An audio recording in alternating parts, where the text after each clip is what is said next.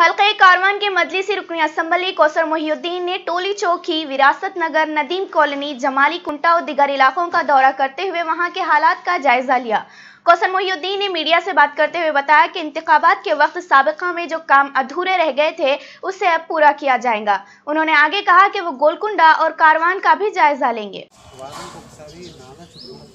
ఏమేమి ఉన్నాయి అది మొత్తం చూడండి అండ్ శాంక్షన్ ఇచ్చిన తర్వాత వర్క్ ఆర్డర్ ఇస్తుంది టెండర్ పిలుస్తుంది ఎప్పుడైనా టెండర్ కూడా నెల పడుతుంది టెండర్ వారంలో అయిపోవాలి నెల వరకు చేయరు మీకు చాలా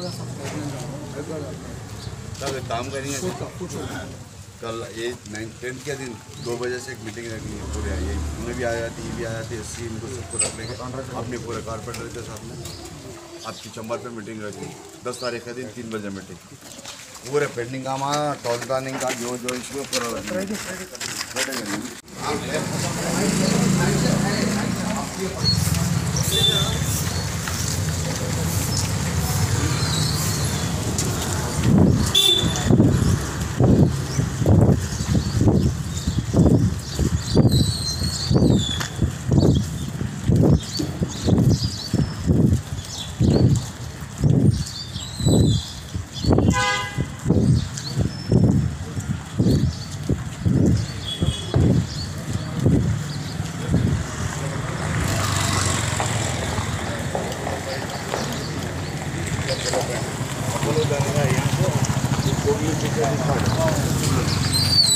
ये white building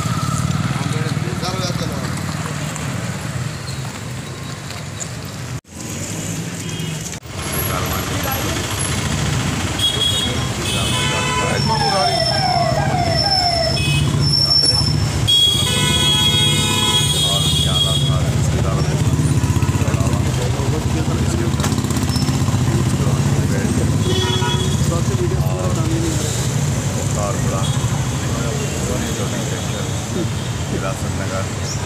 Balreddy Nagar Shatam park Shatam Nagar Nadeem colony Jamali Gupta Nagar और कई इलाकों का दौरा हुआ। और जिसके अंदर सबका में इलेक्शन को वजह से कई तामीरात के काम, डेवलपमेंट के काम को रोक दिया गया और वहाँ पर ही आज इन इलाकों का दौरा किया गया। इसके बाद कई बस्तियों में, कई इलाकों में कई मस्जिद के अंदर डेवलपमेंट के काम मंजूर करने का तय किया गया और फिर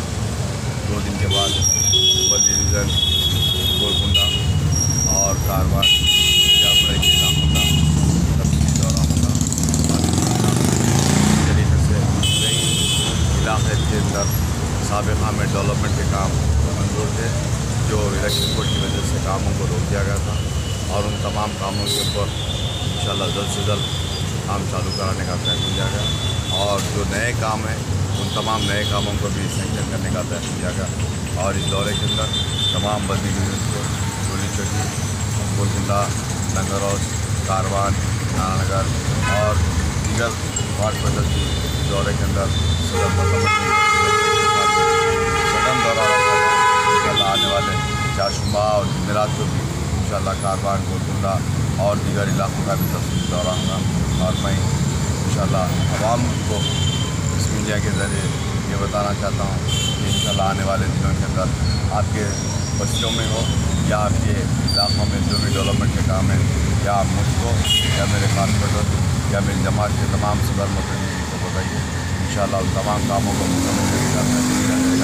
और मैं इस मीडिया के ज़रिए ये भी बताना चाहता हूँ कि अभी जिसके होटल लिस्ट में अंदर नाम नहीं है तमाम लोगों से अपील करता हूँ, आपके इलाकों में, आपके पोलिंग बूथ पर, आपके बस्ती के सदर मुतमिन के पास काम को ले जाकर दीजिए इन आने वाले दिनों के अंदर आपके नाम को रिज़ल्ट किया जाएगा। फिर एक बार तमाम का मैं शुक्रिया अदा करता हूँ।